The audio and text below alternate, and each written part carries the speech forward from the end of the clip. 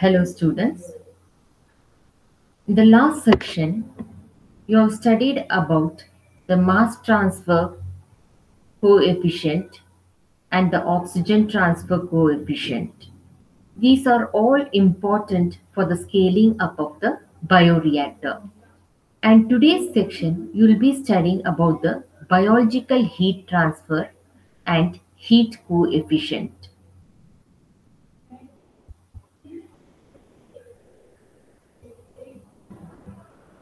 So first let us define what do you mean by the heat transfer in general term.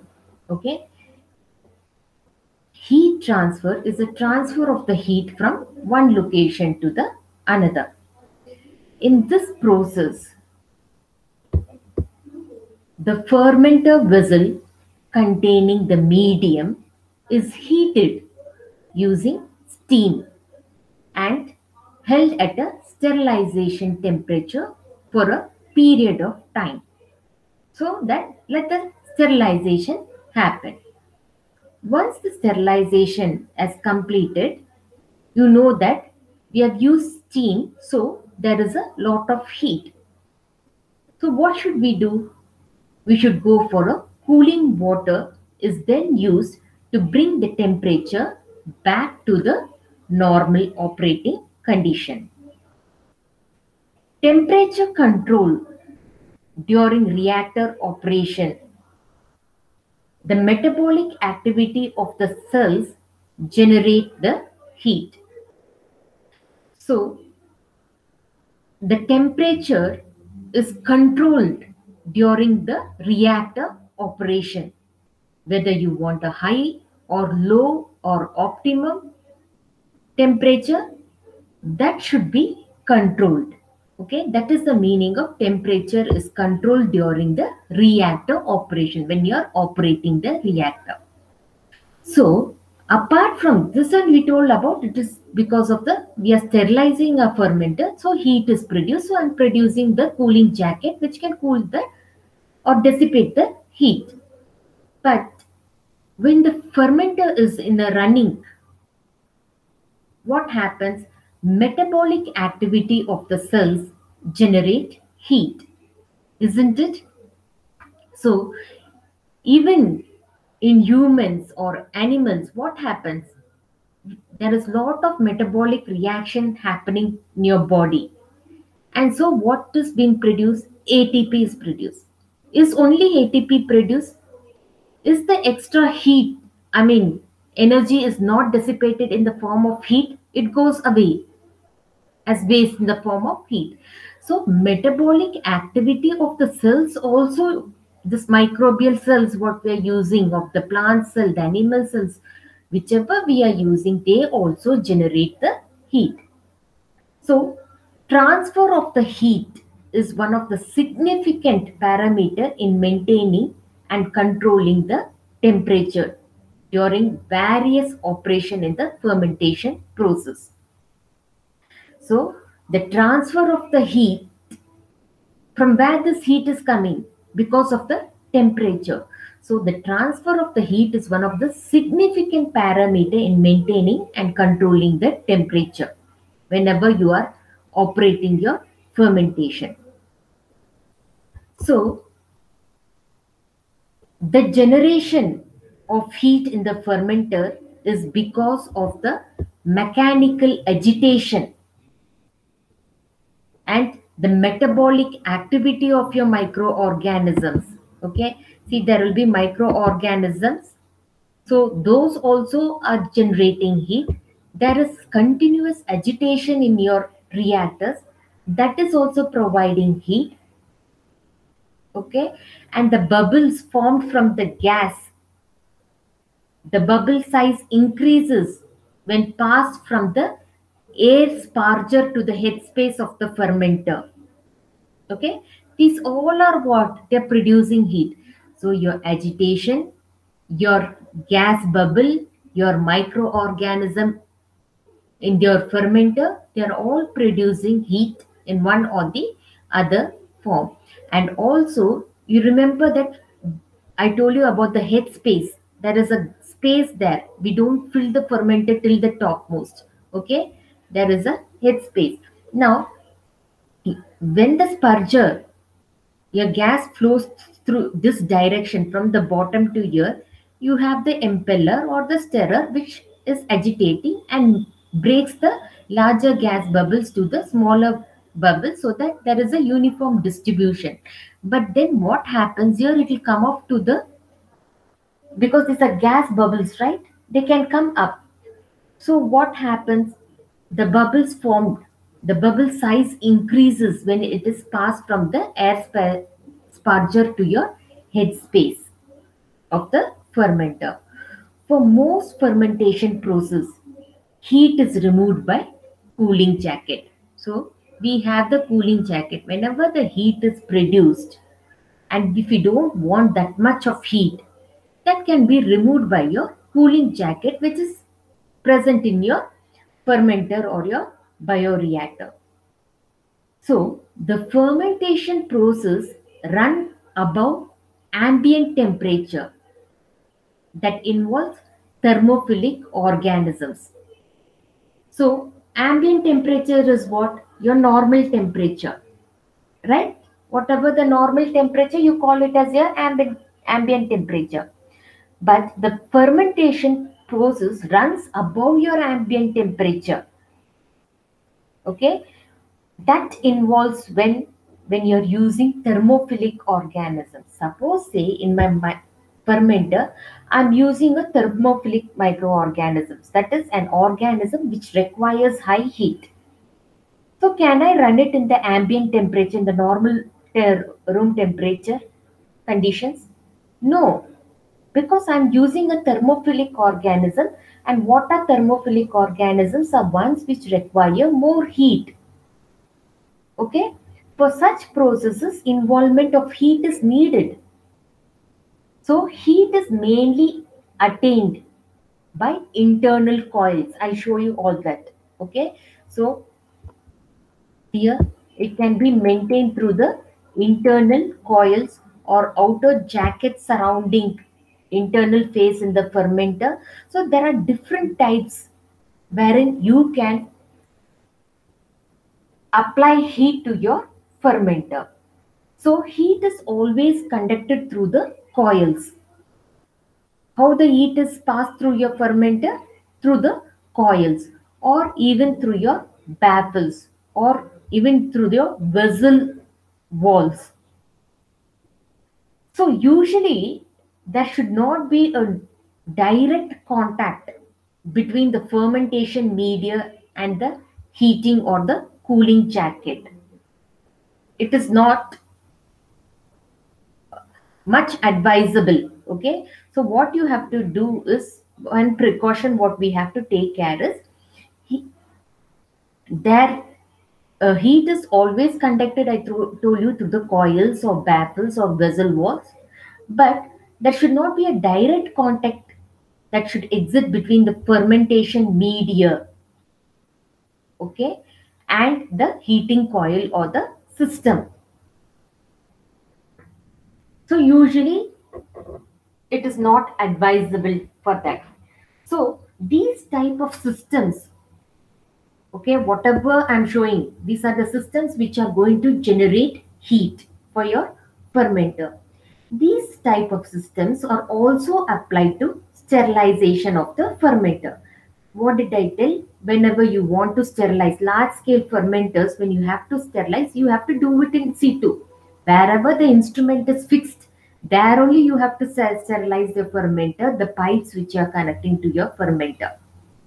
Okay, so these types of systems are applied just not while running or operating your fermenter, but even during the sterilization process. That is by injecting of pasteurized steam. Okay, you apply the steam so that you bring about the sterilization of your fermenters. The heat generated by fermentation is difficult to remove when the superficial area enclosed by the heating jacket become insignificant. Okay, so whenever there is heat is being generated in your fermenter, okay it is difficult to remove this heat which is being generated in your fermenter when there is a superficial area. Superficial area not an exact area okay? It is just a superficial area which is area which is present and which is enclosing your heating jacket so that time removing the heat becomes insignificant because of the superficial area which is enclosing your heating jacket. In this situation, with the help of internal loops, accurate temperature can be achieved and circulation of cold water is needed in the area. So, whenever there is a superficial area which is actually not necessary, okay, which is having an insignificant that time what you do is in this situation with the help of internal loops what I showed you in the picture, we'll study in detail about it. Accurate temperatures can be achieved. So you can achieve your required temperature using the internal loops which are going to produce the temperature. And circulation of cold water is needed in this area to control your temperature. So the transfer of heat between the vessel surface this is your vessel surface and the microorganism is comparable to that of the mass transfer. So what is mass transfer? How it happens? That you have to study from my previous video. Only then you will be able to understand this. So let me make it more simpler if you have not gone through that video yet. But kindly go through it. So the transfer of the heat between the vessel and the micro, this is the vessel and here the, assume there is microorganisms are present here. Okay. The transfer of the heat occurs like similar to that of the mass transfer which occurs. Okay. So here what happens, what is involved? It involves the bulk fluid. Okay the fluid. Why we say it is as a bulk fluid? Because there is lot of turbulence also here. Okay. So we have the fluid, bulk fluid as well as the cells. Okay. Here I have my fluid. I have the cells. And between we have what? the cell is there where is the cell present? In your fluid. What is this fluid? It is your media. And then what is present in between? You have your cooling surface. Okay. I have my cooling surface.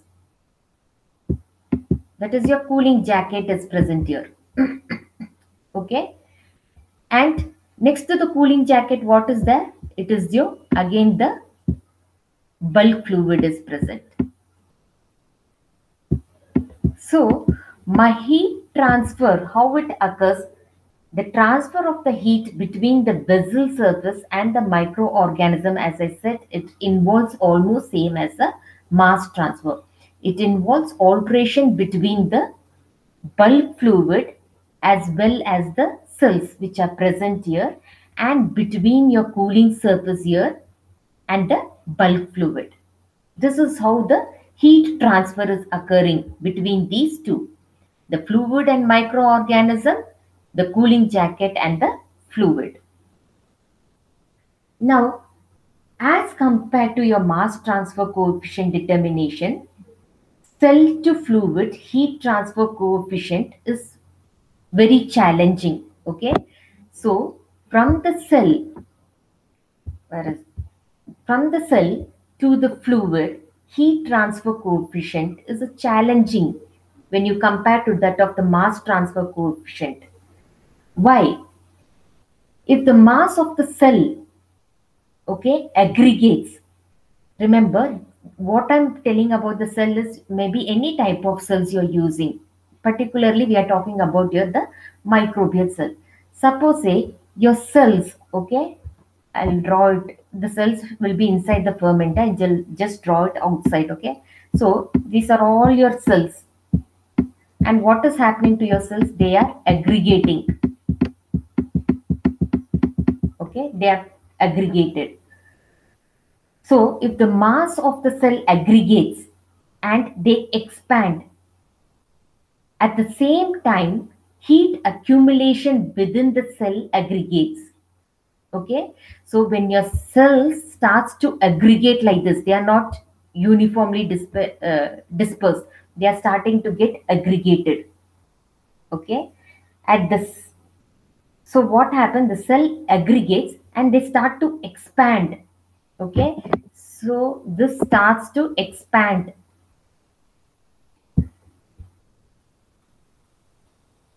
at the same time what happens is the heat accumulation within the cell aggregates at certain stage of metabolic activity also increases.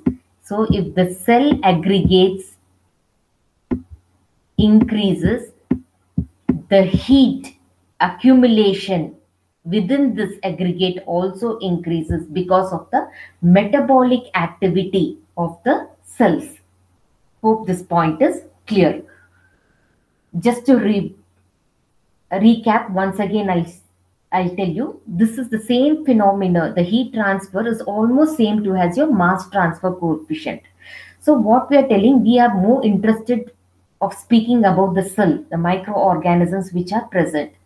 So if the mass of the cell, your cell starts to aggregate and they expand. Okay. At the same time, heat accumulation within the cell aggregates at certain stages of the metabolic activity also increases. So when your cell starts aggregating and it expands, your heat also starts to increase.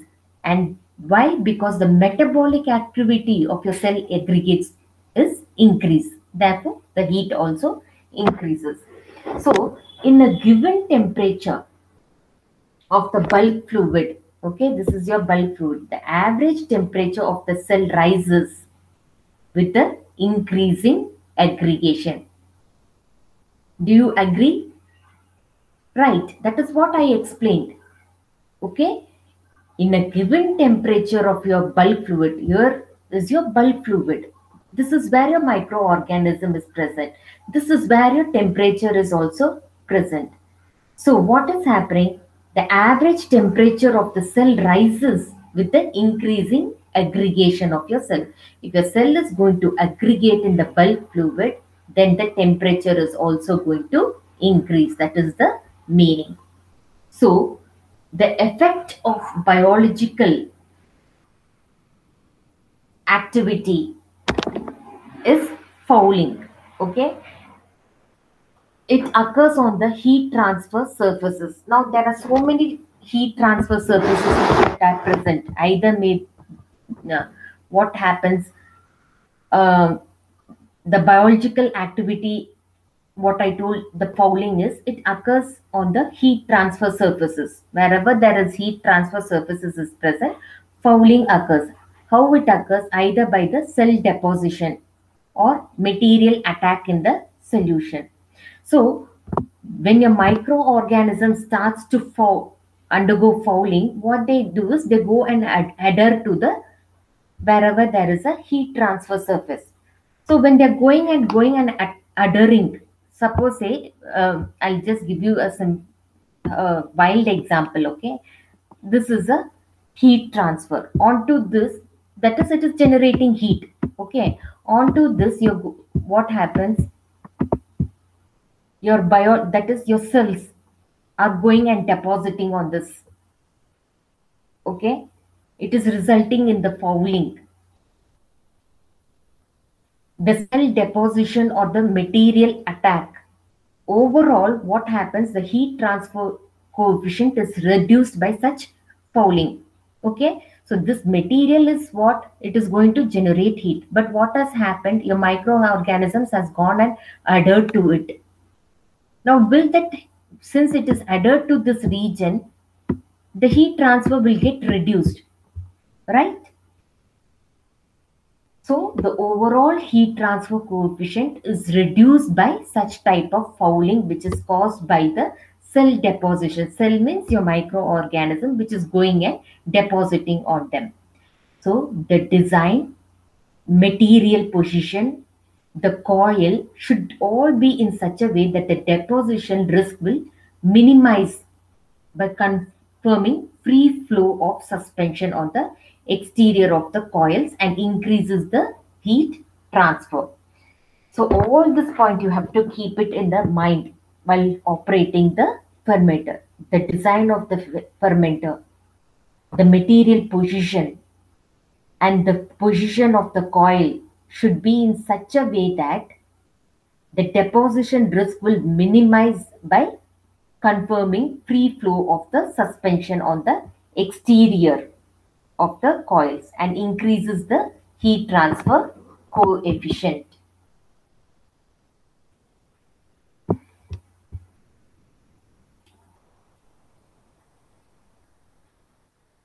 So, herein you can see that two types of common heat transfer application in the bioreactor operation. What are those two types? We shall see. In situ batch sterilization of the liquid media. So, sterilization of the liquid media. In this process, the fermenter vessel containing the medium is heated. So, this is my fermenter. This is my media. It is heated using what? Using the steam. Okay. So, it is getting heated by using the steam. this is my media okay so this is my media it is getting heated by the steam and held at a sterilization temperature for a period of time so usually the sterilization temperature what we speak is the 121 degree centigrade right? For a period of time it is held in such a way so that let the sterilization happen where in the liquid media otherwise it leads to contamination okay? So after this procedure is over what should i do? Cooling water is then used to bring the temperature back to the normal condition after this is done i have to decrease the temperature to the normal condition how i'm going to bring about this by cooling jacket you saw in the previous picture there was cooling jackets which are present here. The cooling jackets are present.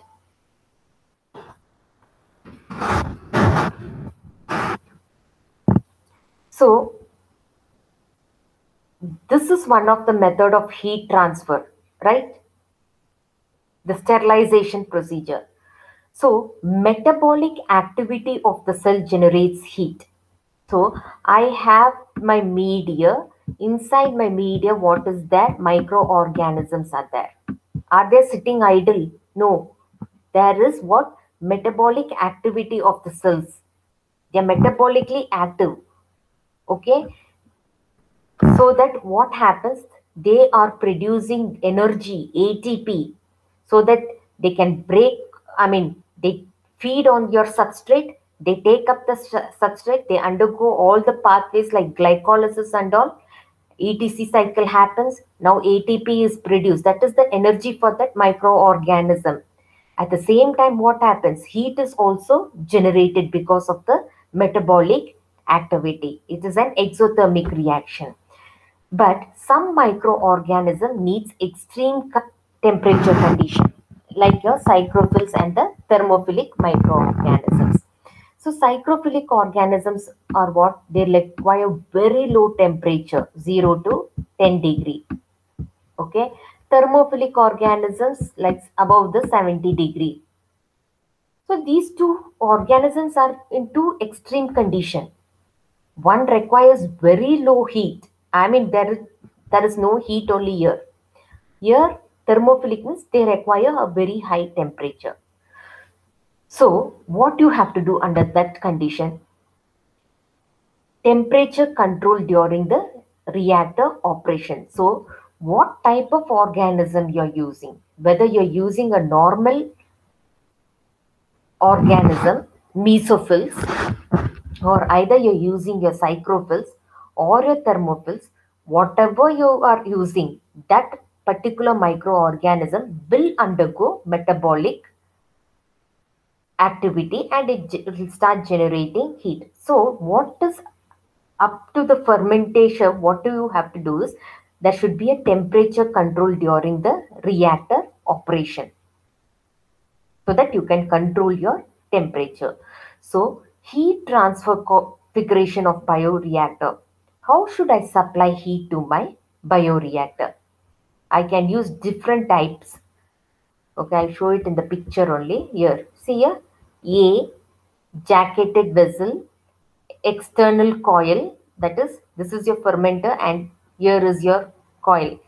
Here, what is it is jacketed vessel. Entire is vessel is jacketed. External coil, internal helical coil inside the fermenter. Here, what is the baffles? You know what are baffles? I told you that they prevent the vortex. Okay, so baffles are present. Four to six baffles may be present in your fermenter. To the baffle only what is attached? Coils are attached. And then one more type of heat generator is the external heat generator. See, this is the fermenter. From where it is getting the heat? From a separate external heat exchanger is there. Okay. You take, I'll take away the heat and I'll supply you with the cooler condition. So we are speaking, so these all, we are speaking each about that. So external jacket and coil give low heat transfer area. Thus, they are rarely used in the industrial scale. Okay, these are rarely used in the industrial scale, whereas your internal coils are frequently used in the production of the vessel. This one, internal coils. These are frequently used in the production vessel. The coils can be operated with liquid velocity and give relatively large heat transfer area. So these are very good to operate. But they suffer from certain drawback. But the coil interfere with the mixing in the vessel and make the cleaning of the reactor difficult. So it is present inside. No, inside what is there? if the impeller is there, it is going to in interfere, right? So, relatively heat but the coil will interfere with the mixing of the vessel. And not only that, cleaning of your reactor is difficult. Okay, so after you have done all the production, your downstream process, everything is completed. You have to clean your reactor so that cleaning process is also going to make it difficult because the coil is inside. Another problem is film growth on the cell, film growth of cells on the heat transfer surface. So inside this, what is there? Coil is there, medium is there, stirrer is there, microorganism is there. So this microorganisms, what they do is they will go and sit on these coils. They form a film not an individual microorganism. They all will be bounded like just a film like. Okay. So you can't tell there is an individual organism. You feel like that that is a sheet of microorganisms which are present. So next we'll come to the external heat exchanger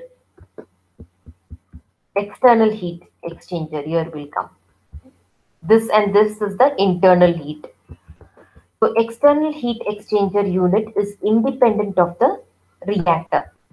Right it is independent. It is present externally. And it is easy to scale up and provides best heat transfer capability. However condition of sterility must be met. Okay this is one of the best method because it is present outside the fermenter. It is independent of the reactor and it can provide you the best heat transfer capability but the problem what you have to take the precaution is the condition of sterility must be met.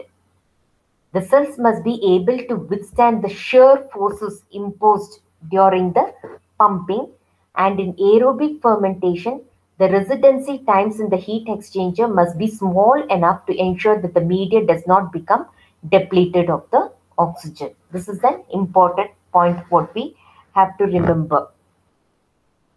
Okay. so the cells must withstand the shear forces which is imposed during the pumping of this heat exchanger and the aerobic fermentation, the residency time in the heat exchanger must be small enough to ensure that the medium does not become depleted of the oxygen. Okay, your aerobic organism, what it requires oxygen. So the residency time in the heat exchanger must be small enough to ensure that the medium does not become depleted of the oxygen. If oxygen gets depleted because of this heat, then what happens? Will your aerobic organism survive? No. That is why this is an important precaution. During aerobic fermentation, the residency time of what? Of your oxygen in the heat exchanger must be small enough to ensure the medium does not become depleted of oxygen. If the oxygen is depleted, your aerobic organisms cannot survive. And also, one more precaution you have to take care is the, the shear forces which are induced during the pumping of the heat exchanger. The microorganism should be able to withstand that shear forces.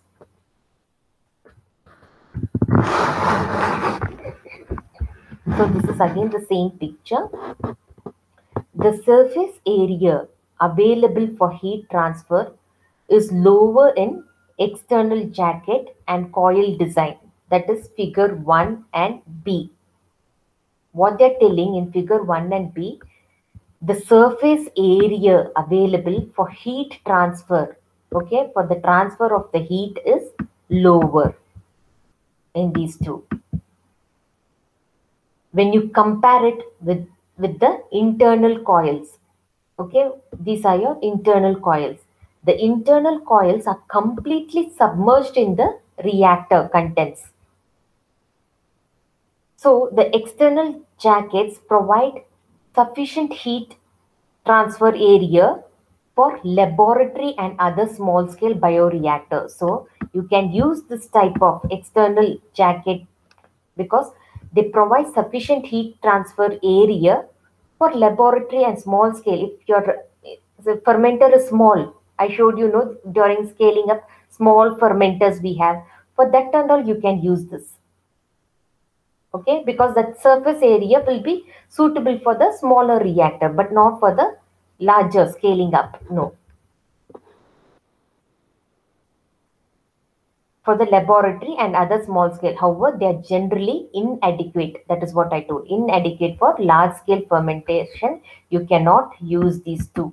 But for small scale fermentation, you can use because the surface area what they provide is sufficient only for the small scale fermenters. Then coming to the internal coils. So what we, we tell about the internal coils, they are completely submerged. Okay. The internal coils that is C and D are used frequently in the production vessel. The coil can be operated with high cooling water velocity and the entire tube surface is exposed to the reactor contents providing relatively larger heat transfer area. So this provides larger heat transfer area. Of course, there have some disadvantages as I told in the, my earlier slide. But at the same time, you can see that they are present inside the fermenter. Okay, they are submerged into it. And so the coil can be operated with the high cooling water velocities. And the entire tube surface is exposed to a reactor contents providing relatively larger heat transfer area. Here the heat transfer is larger. So that is why it can be used for the industrial scale. But as I told you, again you'll see there are some disadvantages with the internal structure. We have studied that already. There is interference with the mixing of the vessel and it makes difficult for your reactor cleaning. Another problem is that the cells will come and adhere to this coils. Okay, the internal heat transfer. So another problem is the film growth. They come and adhere. The coil must be able to withstand thermal and mechanical stresses. So here, what is happening? Are your fermenters in a non-immobilized form? No, they are in the mobilized form. There is turbulency occurring, shearing is occurring, agitation is occurring, aeration is occurring, and this coil should withstand all those. Okay, the coil must be able to withstand the thermal and mechanical stresses. Now, whatever I told you, in one word, you can say that thermal and mechanical stresses it has to withstand. Generated inside the fermenter during sterilization and during agitation. In both, they have to withstand. So these two are used for the smaller scale. This can be used for the larger scale, this and this. But these two have their own uh, drawbacks also. And this also we saw some of the drawbacks of this here we spoke about. Okay.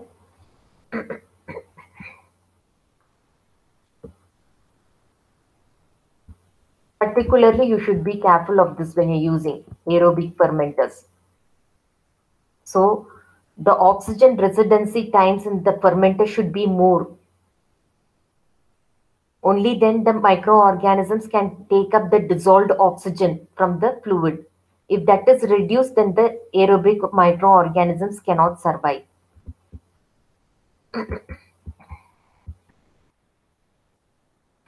so,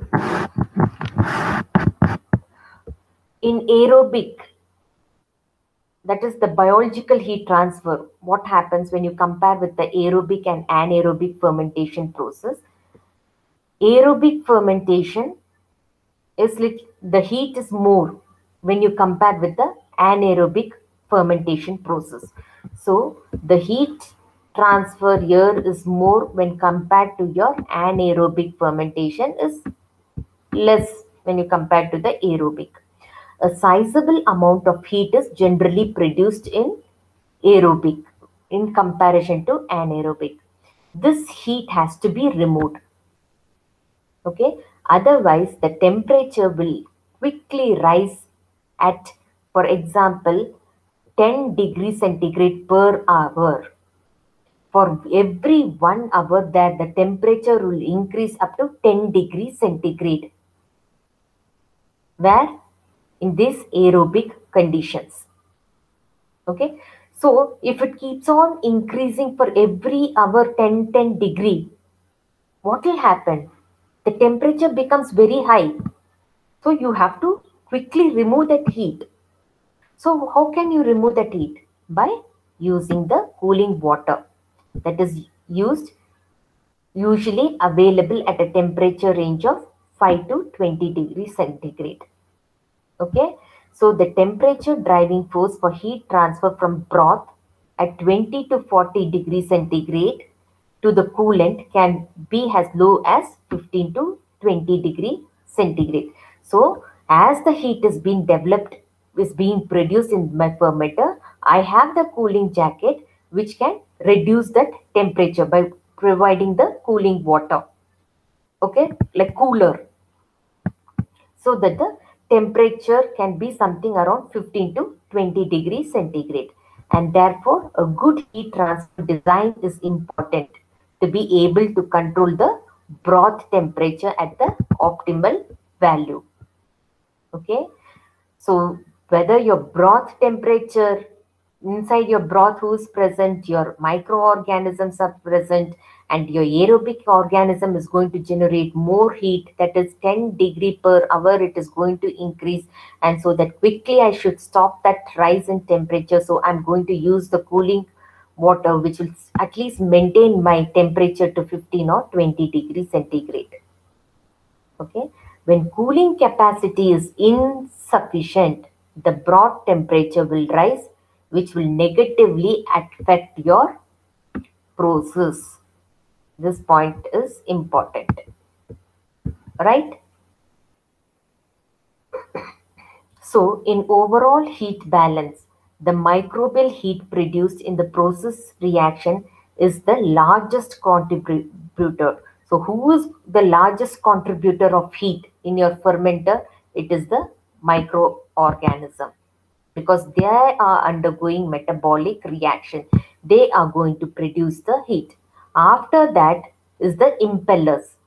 After your microorganism, it is the impellers. Because of the agitation, they are going to provide the heat. So, for aerobic fermentation, there is a direct link with the oxygen consumption. For each mole, I, I told you no, the aerobic in the previous slide, what we saw. Okay, so more the heat, what happens? The oxygen the solubility of the oxygen still reduces and then what happens the residency times of the oxygen will also be reduced. So for aerobic fermentation there is a direct link between the oxygen consumption. So for each mole of oxygen consumed that is this fellow this aerobic organism when it consumes the oxygen 450 kilojoule heat are produced. So your microorganism is the one which is going to produce more heat.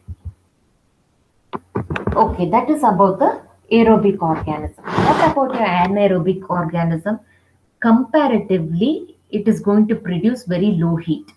For anaerobic process, this factor of 10 lower, but because of it is actually very low, okay? For anaerobic process, Okay, for your anaerobic process, the heat generated is comparatively low. But here also heat is produced. How it is produced means because the anaerobic fermentation are often carried out at larger scale with less area per volume. So the surface area is less per volume. So what is happening? Heat is generated here. So with less area per volume available for cooling, cooling strategies are equally important even for anaerobic condition because they are occurring in the larger scale and the surface area is very small and that is why the heat generation is there also. Therefore, we require the cooling jacket even here. In stirred tank reactors, the second most important source of heat production is the impeller. This is what I told. After your microorganism, who is the second person to produce more heat is your impeller. Particularly, we have different types of impeller and we take the example of the stirred tank reactor. So energy dissipation via the impellers can add another 10 to 30% heat on top of your reaction heat. So already heat is being generated and above this 10 to 30% of more heat can be added by whom? By your impeller. So that is why the cooling jacket is very essential.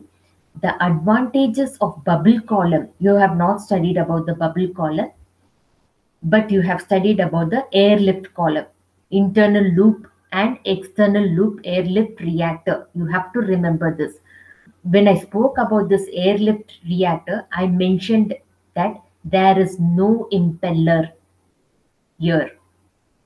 Okay, because there is a lot of air which is lifting airlift reactor. That is what I am telling. I told you. Okay, the air itself is lifting the nutrients above, and that is the circulation happens. I told you there is an internal and the external airlift reactor loops are present So please check back to that uh, video. We'll not go again into the ALR. So here there is no impeller. That is why it is also called as pneumatic power. Okay. It has no effect on the See, it is a pneumatic power because it has no impeller. The input of gas at fermentation temperature has no heat effect. There can be other sources of heat as well, such as hot sterilized feed streams or hot compressed gases that can be introduced in the broth, which can again increase the heat.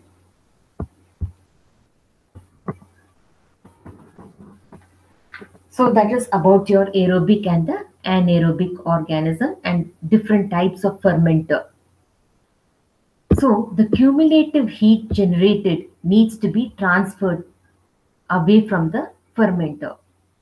So what cumulative heat means all the total amount of heat which is being produced either by your impeller or during sterilization or during the heating of the broth or by your microorganism together they are known as the cumulative heat generate needs to be transferred away from your fermenter this can be done by various way by via the coils or vessel wall baffles via external broth loop with a heat exchanger which is uh, in which the heat is transferred to the cooling water exchange okay you give the heat and i get better cooling that is the heat exchanger. So there are many methods wherein I can reduce the heating by the following methods. So a series of steps is required to transport heat from the broth inside the fermenter via the coils to the cooling water. Okay, so what they're telling, if at all cooling has to occur, okay, there requires a series of steps. That is, transport of heat from the broth in which is present inside your fermenter via the coils to the cooling water. So from here to here, then here, it has to come to the cooling water. First, there is what is known as the connect, convective flow of heat from the bulk of the liquid to the coil. What is the liquid? it is your broth to the coil. So there is a convective heat transfer. That is, convective heat transfer is the transfer of the heat between the two bodies by the current of moving. It can be a gas or a fluid. That is known as the convective heat transfer. Just remember, it is the transfer of the heat between the two bodies by the currents. It can be either your gas or the liquid current that is known as a convective second after this the second is there is a transfer through the liquid film outside and inside the coil okay and conduction through the coil material. And third is the convective heat flow away from the system via the cooling water. So from the inside the broth okay the microorgan you have the heat which is present in the broth and the broth is inside the fermenter and the heat has to reach via the coils in your fermenter it has to reach the cooling water so first what helps them is the convective flow of the heat from the bulk of the liquid to the coil second there is transfer through the liquid films outside and inside the coil so suppose there is a coil. So this is the inside and the outside of the coil and conduction through the coil material. And third is the convective heat flow away from the system. Okay, this is the system. This is the, for example, I've drawn the internal coil here. Okay, so from here the heat has to come out where through the cooling jacket by all these three methods is important. In addition, there can be fouling layer. I told you that. Okay. What happens? Your microorganisms, they form like a film. Okay. So what they do, this is the heating. Okay. They go and form a film around this. So what is happening? Heat is what heat was being produced. Now that heat has to move through this film of your microorganism and then it has to go. So what, in other ways, what, is this telling the the fouling layer at the broth and the coolant side that add additional resistance and further reduce the overall heat transport rate. So these are the important steps which are required to reduce the heat. Okay, the three important steps plus the fourth one is the fouling layer. Fouling layer is produced by the microorganism which goes and sticks or binds or adheres to the surfaces of the coil. So, as I told you, I told you a simple wild example will take. Heat directly comes here, but if there is something present here, it has to move through this, then come out of this. That is what is the fouling layer is. Okay.